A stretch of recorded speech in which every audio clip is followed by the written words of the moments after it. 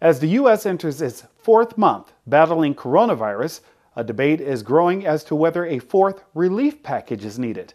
Ray Bogan has the latest on what the Trump administration says should be done. New York City is officially in phase three of reopening in the midst of coronavirus.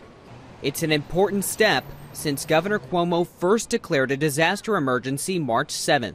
I understand people are fatigued. It doesn't change the facts. And we have to stay smart.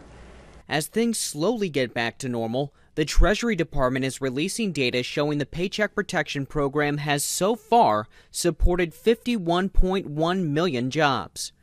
Nearly 4.9 million loans have been distributed, worth more than $521 billion. The Senate Minority Leader said of the data, more transparency is still needed to ensure that these taxpayer dollars went where Congress intended. The PPP is a popular CARES Act program that was just extended until August 8th. But another benefit that expires July 31st has not been renewed 600 extra dollars a week in unemployment insurance. Labor Secretary Eugene Scalia says it may not be needed going forward.